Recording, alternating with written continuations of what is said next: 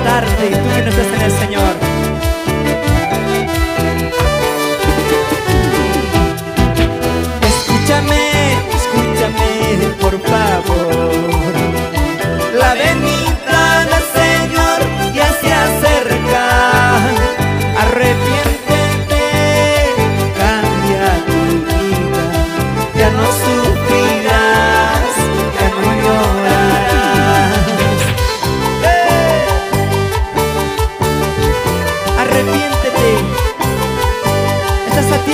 Oh.